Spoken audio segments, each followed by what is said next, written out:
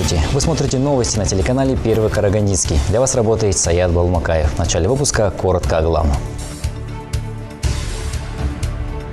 В регионе продолжается подготовка к паводковому периоду. Из населенных пунктов вывозится снег, однако работа в этом направлении все еще не завершена. Этому вопросу областные власти уделяют особое внимание.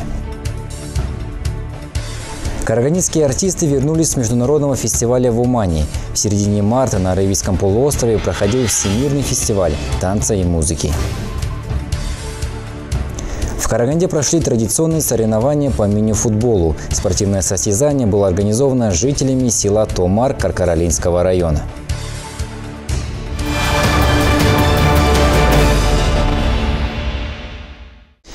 В регионе продолжается подготовка к паводковому периоду. Из населенных пунктов вывозится снег. Однако работа в этом направлении все еще не завершена. Это и многое другое обсудили на аппаратном совещании в областном Акимате. В настоящее время особое внимание уделяется работе по вывозу снега. Заместитель Акима области по вопросам энергетики, коммунального хозяйства и чрезвычайных ситуаций и вовсе предложил внести изменения в правила благоустройства, чтобы увеличить ответственность предпринимателей. Также хотел бы сказать, что нам необходимо внести правила благоустройства, соответствующие изменения, потому что там расплывчато все написано, необходимо активизировать работу по вывозу снега малым субъектами бизнеса. Это мы об этом уже разговаривали. Сейчас мы эту работу проведем и правила внесем соответствующие изменения, чтобы активизировать эту работу. Глава региона поручил местной полицейской службе принимать меры, а не ограничиваться предупреждениями в отношении физических и юридических лиц. В областном центре для организации заблаговременного вывоза снега работают 34 мобильные группы. Это и сотрудники Акимата, и стражи порядка. Аким области Ерлан Кушанов призвал не доверять благоприятным прогнозам Казгидромета и не расслабляться. Проблемы есть. По нашим прогнозам ситуация будет хуже, чем в прошлом году. Начальник департамента по чрезвычайным ситуациям отметил, что объем снега в этом году намного превышает прошлогодний, а паводковые проявления начнутся уже в предпраздничные дни. Паводковые проявления начнутся, как я ранее говорил, с 20 марта уже, но активные фазы где-то 5 апреля. Апреля. Да. К этому времени все мероприятия мы должны уже завершить и быть готовы. Во всех населенных пунктах возведены защитные валы и дамбы. В скором времени Аким области начнет облет. Наибольшую опасность представляет русло реки Нура. Глава региона в который раз подчеркнул, что в этом году ни один дом не должно затопить. Тохжан Лянова, Жаслан Макулбеков, Андрей Тимофеев, Первый Карагандинский. Аким Карагандинской области Ерлан Кошанов и министр индустрии Роман Скляр раскритиковали фирму, которая работает на автодороге Тимиртау-Караганда. Во-первых, затянулись сроки. Во-вторых, подрядчики допустили брак, из-за которого участок нового дорожного полотна сразу же покрылся трещинами. Подрядная фирма «Сейсер» должна в контрактный срок в этом году переделать работу за собственный счет. Иначе предприятию грозит попасть в черный список. Об этом предупредил министр индустрии и инфраструктурного развития Роман Скляр. Напомним, бетон стал лопаться через год после укладки, а причины дефекта пришлось выяснять с помощью георадара. Строительство шестиполосной трассы протяженностью почти 16 километров планируют завершить до конца года, хотя обещали сдать еще два года года назад. В этом году мы планируем до конца текущего года полностью закончить уже до конца участок до Караганды, включая обход полностью, включая и северный, и восточный обходы. А, график производства полностью есть. А, подрядчики идут э, согласно графику производства работы. Отставания нет, но я думаю, проблем не будет. До конца года сдадимся. Отработали полностью с подрядчиком, он будет все за счет своих средств полностью устранять. График устранения есть. Э, э, как только погодные условия позволят, э, он сразу приступит уже к устранению. Кроме того, с этого года начнется реконструкция участка автодороги Караганда-Балхаш протяженностью 363 километра. В целом реконструкция обойдется в 243 миллиарда тенге. Планируется, что проект будет реализован поэтапно до 2022 года. Во время посещения Тимиртауского электрометаллургического комбината обсуждался проект по развитию предприятия. Ориентировочная его стоимость составит 5-7 миллиардов тенге. На комбинате планируется строительство новой печи. Это позволит увеличить производство ферросплавов в два раза и расширить линейку продукции. Министр пообещал, что предприятие сможет воспользоваться инструментами государственной поддержки. Роман Скляр также посетил научно-производственный холдинг «Фитохимия» и Карагандинский фармацевтический комплекс. Андрей Тен, Андрей Тимофеев, Первый Карагандинский. Карагандинские артисты вернулись с международного фестиваля в Омане. В середине марта на Аравийском полуострове проходил Всемирный фестиваль танца и музыки. О репертуаре ансамблей и арабском гостеприимстве рассказали в ходе пресс-конференции.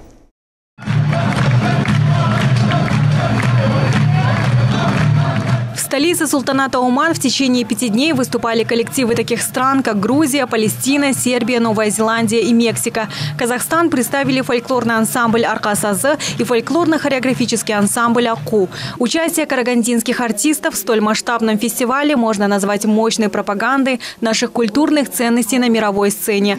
Заслуженный деятель Республики Казахстан Рымбала Умарбекова отметила, что наши артисты влюбили в себя всех до едино. Мы выступали первым номером. Ансамбль «Арка Сазе» покорил всех, исполнив кюи. Было слышно звучание каждого инструмента. Наши танцоры также не подвели. Они красиво станцевали, меняли костюмы перед каждым выступлением. Во всем чувствовались национальные мотивы. Публика очень тепло приняла наших артистов. Восхищение выражали и коллективы других стран. Безупречное выступление не оставило равнодушными как организаторов, так и зрителей концерта. Карагандинских артистов пригласили и на другие международные конкурсы и фестивали.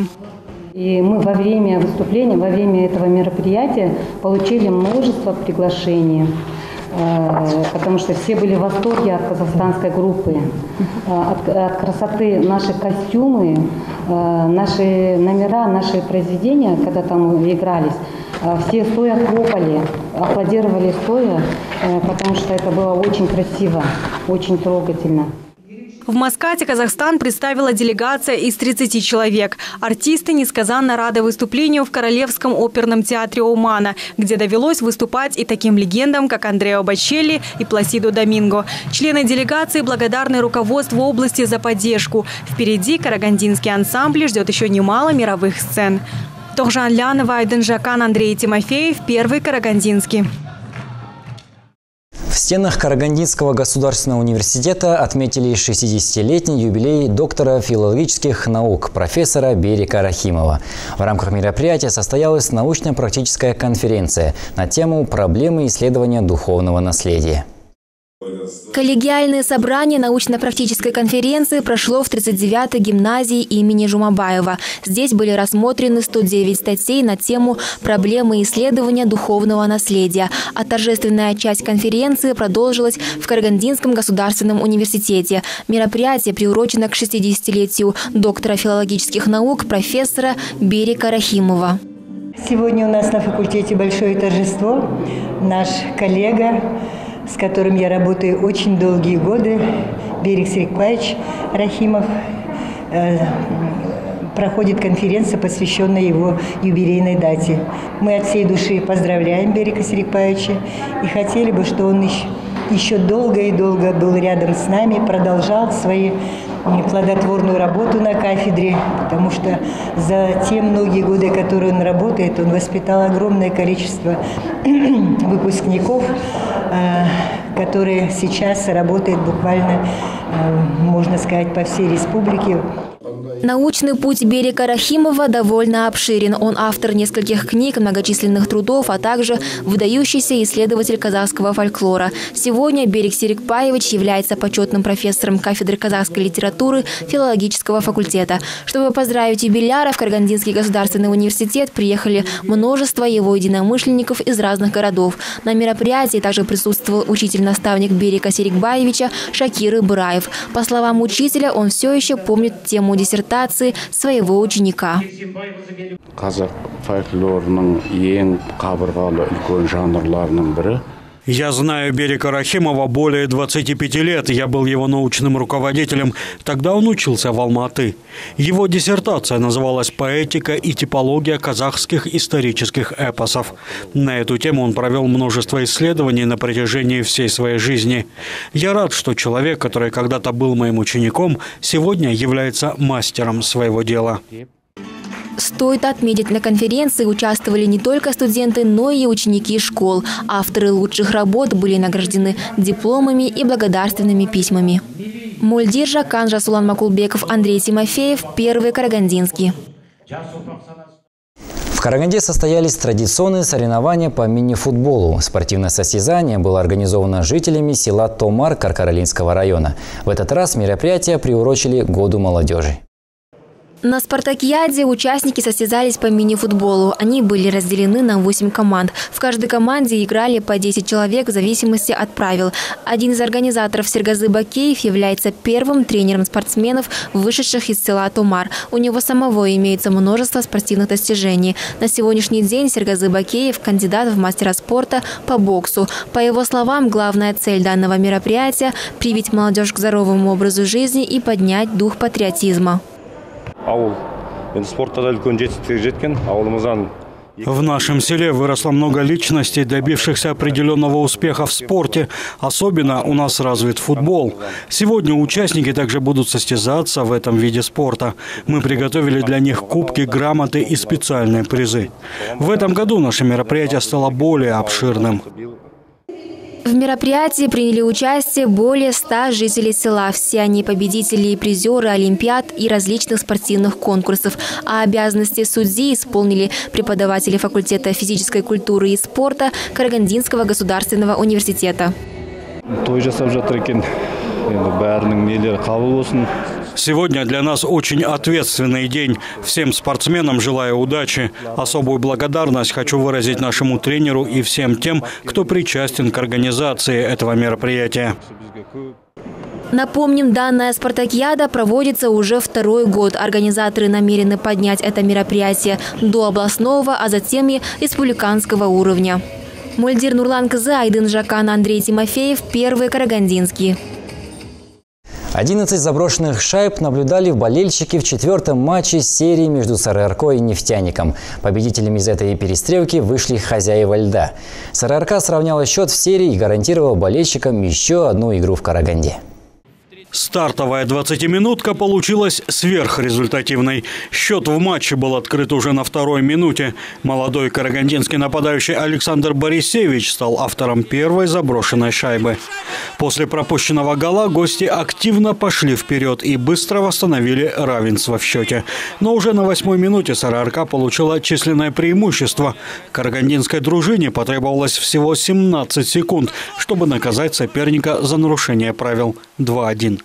Но уже через несколько минут нефтяник сравнивает счет, а следом забрасывает в ворота Сарарки третью шайбу. В концовке периода хозяева льда получили очередное численное преимущество и смогли реализовать его за 4 секунды до сирены. 3-3 – 6 заброшенных шайб за 20 минут игры. Во втором периоде команды продолжили голевую феерию, забросив еще четыре шайбы. И тут СРРК проявила характер, дважды сравнивая счет в матче.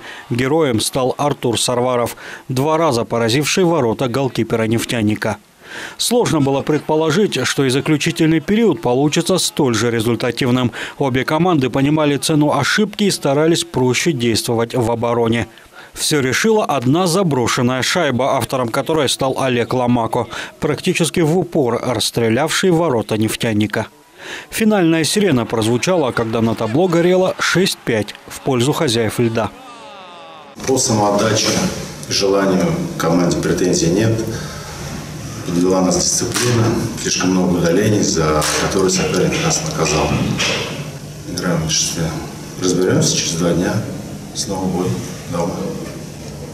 Наверное, по сценарию такой непредсказуемый, можно сказать, даже такой сумасшедший матч. Ну, матч, наверное, атаки, матч большинства. Но тем и хорош плов, что он непредсказуем, и сценарий игры может быть разный, то есть его тяжело предугадать. Но я рад, то, что мы с честью вышли с этой игры. То есть выиграли этот матч. Вот. Серия начинается с нуля. Вот готовимся в Альметьевске. Ребят ребятам, болельщикам большое спасибо. СРРК сравняла счет в серии и гарантировала болельщикам еще одну игру в Караганде. Серия продолжится в Альметьевске, где 20 марта состоится пятый матч серии 1-4 финала Кубка Петрова. Андрей Тен, Андрей Тимофеев, первый Карагандинский.